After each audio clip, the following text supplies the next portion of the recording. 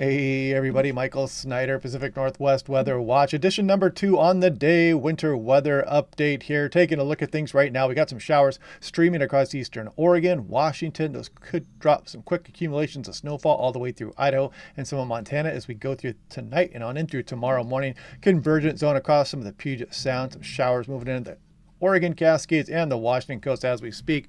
But the big weather story is the Arctic air on the move here. It's going to be pushing down as we go on into towards early next week, bringing a much colder air mass across Pacific Northwest. And then we are going to bring a Pacific Ocean storm system back into the west coast of North America. The track on that one, as you can imagine, is going to determine where the biggest impacts are. And We're going to dive into some of those details and take a look at the latest in the weather models here in a moment. First of all, looking at the top of the radar up close, and you can see some of the showers on the coastline, cascades, again, across some of the higher terrain, some snowfall accumulations, and there is better chance for snow if you get east of the mountains there. And you can kind of see some of these bands and pushing in towards the Blue Mountains, off and on there for Walla Walla also. And if you want a nice, affordable home weather station, help support the channel, click on the link down below to save 10% off. Great smartphone app, very fun station, lightning detection system with it as well. Now, take a look at Portland, starting to pay attention to what is coming as we go through next week. Chance of snow and freezing rain. Right now, Portland's got better odds at some disruptive winter weather than Seattle right now, but we have to watch the track closely. Some of the models are showing some of that snowfall getting up towards the Puget Sound as well. So this is going to be trickier, folks, because if you live down there across some of the Portland Metro or in towards the gorge, you know how stubborn that cold air can be, and there's going to be a lot of it around with some strong east winds as the system moves towards the coastline. I'll show you that here in a moment. Taking a look down towards Medford, you can see the timeline. They are talking about the storm here as we go on in through Thursday, Friday, and beyond beyond. Then we're going to get a pattern change most likely after that and turn things a bit warmer, but we could be bringing some rainy conditions here across the region. And this is what I talked about a little bit here. This is as we go through the evening tonight. You can see we're at 6:30 right now, so you can see Lewiston, Kellogg's right there. Some of the snow squalls moving across the area there. You can get some of the low visibilities with that, and some gusty winds blowing snow and the icy road. So watch out for that. And this is what I showed this morning. So this is last year, January of 2024. If you notice, the water here is relatively warm across the equatorial Pacific. And if we scroll all the way to January of this year, you can see we're cooler across the equatorial Pacific. That is what La Nina is. We're not looking at the temperature anomaly map here. We're looking at the actual sea surface temperatures here. So when you cool that down, you change up the dynamics there across the ocean, which in turn, uh, the heat transfer changes, Rossby wave configuration, ridges and troughs all across the planet. So hopefully that makes a little bit of sense there. And you can kind of see it in the anomaly map there. We're probably going to be in a La Nina when all is said and done. And again, pretty chilly there across some of the equatorial regions there. Not a strong El Nino or anything like that, but yeah, you can definitely see the cooler than normal water across the equatorial Pacific.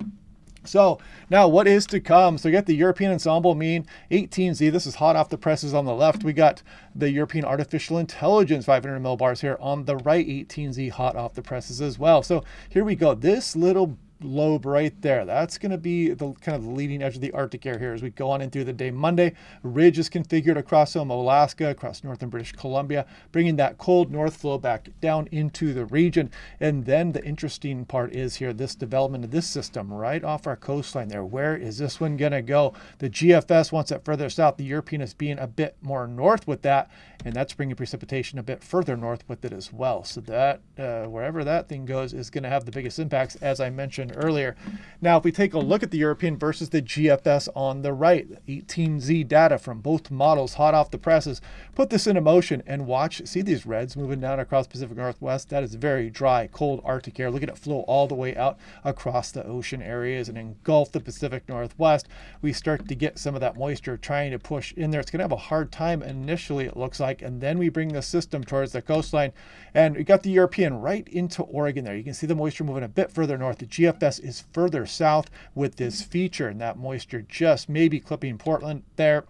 And again, so it's a model disagreement between the European and the GFS.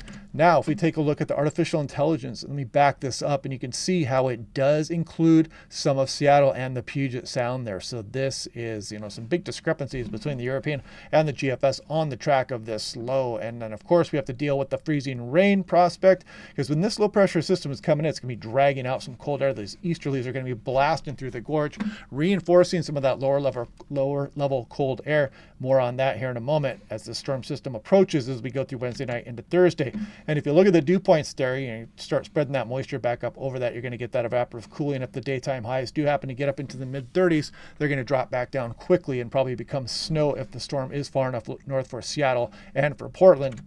So if we look at the GFS here, let's uh, closer look at things. And there's the Arctic air mass kind of hanging down across Pacific Northwest. Look at it get all the way down across Oregon precipitation moving into California, and then the low pressure system approaches the California Oregon border. And you see GFS is just skirting portions of the Portland metro here. A little bit of freezing rain showing up there as well. But if this system does take a more northerly tack, you're probably going to start to include uh, Portland for freezing rain potential. Then, of course, some of uh, southwest Washington with some of the snowfall potential there. So you can see the GFS keeps that mainly off to the south. And then this next system, it may be initially cold enough still around where it will briefly start a snowfall and maybe some of Southwest BC will hold on a bit longer. Again, depending on the track of this one as well, but that's way off in the future. We're not going to worry about that one just yet, one thing at a time. And I do want to kind of wrap things up as far as what is going on tonight. You see the convergence zone across some of the South Sound, some of these snow bands moving across eastern Oregon, Idaho, Montana, Washington. And then we keep some of these showers around as we go through the day tomorrow, but it looks like they are definitely on the lighter side. And then we can kind of see the Arctic front dropping down across Alberta towards Canada there as the Arctic air starts to sweep across Pacific Northwest as we go through the day on Monday. So if we look at the 18Z European model, very interesting look at things here with the 100 meter wind speeds. Look at the Fraser River outflow get going on the day Monday. Okanagan River out of the North Purcell Trench, cold air swooping across Pacific Northwest. You're definitely going to feel the chill in the atmosphere. And look at this, just rush out all the way across the Pacific Ocean. Next storm system starts to arrive. And look at these easterlies being pulled through the Stampede Gap, the sea level gap there right on the Washington Oregon border known as the Gorge. The Vista House is in there. There's the Portland Metro. And then this system starts to burrow in here. And look at some of these wind speeds through the gorge. You can imagine if this lines up perfectly, you get some really strong winds through the gorge there, all the way out across the coastal areas. Again, the Stampede Gap out of the east as well, and then starts to spread moisture back up over the area. And look at that little low right there hanging right off the coastline. Big time battle between warm, moist Pacific Ocean system and some much colder air, especially across the interior and perhaps getting pulled back out for Portland there. You could get a freezing rain event out of this one. We'll see how that trends here over the next few days, but interesting looking stuff right there. And the cold air is stubborn. It wants to hang around longer than the models say it will. I did a little diagram here for you. You could pretend like this is the Portland Metro and this is the cold air coming through the sea level gap, which is the gorge and the Washington Oregon border. Warm air trying to override that. Lower levels stay cold. Freezing rain falls into it, and you can get some pretty extreme icing events down there in the Portland Metro. So, taking a look at the national blend of models, take a look at this. A couple days below uh, zero Fahrenheit on the latest run here. Got a little bit colder. And uh, for a while, you know, all the way on in through what, Saturday? Probably struggling to get above freezing for Spokane. Chilly overnight lows. Seattle, probably getting up into the 30s here, but look at these overnight lows down towards 20, and which means some of the surrounding areas are going to be getting down to, towards the teens. There's Paine Field at 19. Bellingham, look at this, some teens out there with the gusty outflow winds as well. It's going to feel very cold. We are not done with winter yet here, folks. And Portland International, something similar here as well.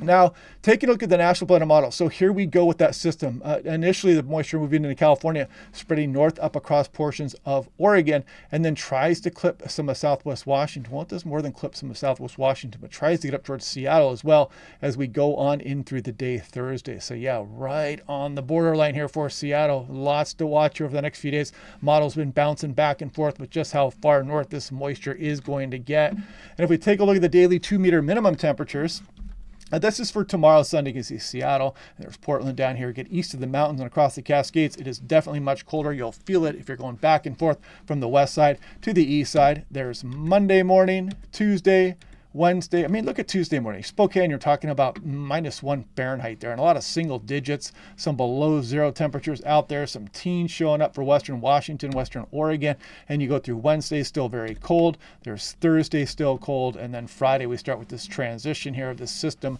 moving into the west coast of North America. And here's the six to 10 day, kind of below average signal as we go through February 18th. Here's the six to 10 day precipitation, still above normal. 8 to 14 day and 8 to 14 day precipitation outlook as well well. Some of the models, often Fantasyland, are showing potential for atmospheric river and additional wet systems into the Pacific Northwest. So take a look at the drought monitor. I had to share this because if you look, look at Washington is almost entirely drought free, maybe just clipped by the little tiny bit of moderate drought across from northeast Oregon and western Washington, western Oregon do have a little bit of abnormally dry, a little bit more worrisome drought conditions out here across portions of Montana and Idaho, but they did get some pretty intense snowfall with this last round, which will help out immensely with some of these drought conditions. And you can see the drought now taking hold of portions of some of south, southwest USA. Some exceptional drought has been introduced portions of Nevada and Arizona. If we look at avalanche.org, check before you go. It's a great website. You can click on any one of these individual locations and get all kinds of data. It tells you snow levels and avalanche danger. It shows pictures and it shows recent avalanches and whatnot. And you can see across some of Idaho here, there is some considerable avalanche danger. And you can see Mount Hood not showing too much right now, maybe some uh, moderate there across the Oregon Cascades also. And if we look at the snowpack across Western Washington, not too great here, 73, 74. Eh, we're not doing too hot. We're below normal. It did get a little bit better across portions of Montana, still a little bit below normal, but Portland, or not Portland, but Oregon here. Portland doesn't have any snow on the ground right now, although they have been seeing some flakes. But you can see that we are above normal for much of Oregon as far as snowfall is concerned. So hopefully we can start to correct this as we go on in towards March and whatnot. And this is the uh, the European. This is February 1st forecast. We're in La Nina right now, but look at this. We want to start climbing back out as we go through the summer. Are we headed towards another El Nino? Who knows? Um, but yeah, uh, they're showing a little bit of that potential here. Maybe we'll go for a neutral year next time or whatnot. But that's something we'll be watching as we scroll off in towards the summertime months. Uh, anyway, yeah, I'll kick this video out. Hope you guys are having a good night. I will do my normal briefing tomorrow, and I will talk to you guys then.